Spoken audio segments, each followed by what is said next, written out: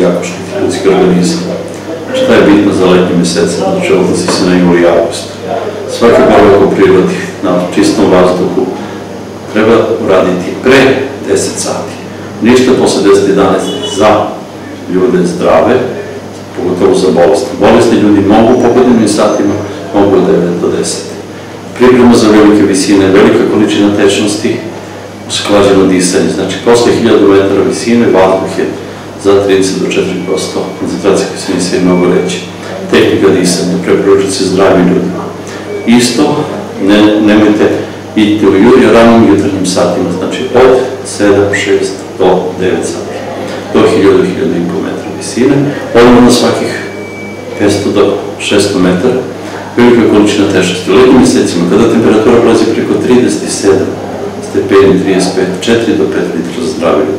Bolesni ljudi ne treba da se izlažu tako ekstremnim uslovima šetnje u prirodi, koriguju terapiju, jako je bitno unosi tablete za izmokravanje, smanjiti dozu za trećinu. Zbog toga što je koeficijent snojanja jako veliki, gubitak tečnosti preko disanja i snojanja. Upašću hipotenziju, koje pacijenti isto koji piju terapiju za pricep, na 37 stepeni idu u prirodi, nosite male pokretne prilično za merenje i isto smanjite za jednu trećinu doze. Zašto je jako bitno? Ako ne nosite tečnost, ako imate hipotenziju, gustina vaše krvi bit će velike.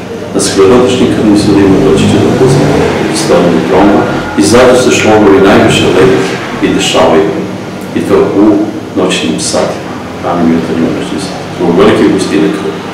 Zašto je boravak prirodi jako bitno? Unose velika količina tečnosti, zdravi vazduh, strujanje vazduha, taj ozonski koliko god je omotač ovaj ozon i jak je i zdravo ranim jutarnjim satima u malim koncentracijama, ali u šumskom vazduhu. Znači, stazama koje su obeležene na našim planinama, stol, crni vrh, jako je bitno sa kratkim odmorima na svakih 500-600 metara. Zdravim ljudima oni znaju poseban režim, bolesnim ljudima smo ono što smo sve malo Pogodno su velike, pije se prirodna voda, mali oblici, česti, krušenje dosta voća. Jako je bitno za vreme teških koji velike temperature u podnevnim časima, hladovina i količina težnosti. Pomogućno, pored vode, znači još jedno, jako je bitno i za bolestni ljudi za zdrave. Prvo se rashladite u hladovini, 10 do 20 minuta, poprskajte se vodom, pre nego što zaronite u vodu, znači uđite do kolena, malo adaptirajte se 5 minuta, posle se poprskajte i zaronite. Izbegnut ćete temperaturni šok i dešavanja koji su najčešće infarkt miokarda i nagli dolazi do naglog kršenja krvnih sudova i do takvih događaja šloga i infarkta. Ukoliko sve se držite ovih mera, ukoliko sve bude ove pridržavali sa umerenom aktivnošću, sa svim ovim merama preventivnim, lako ćete uživati u prirodnom vazduhu na našim planinama. Stolo, crni vrh, već idete zlati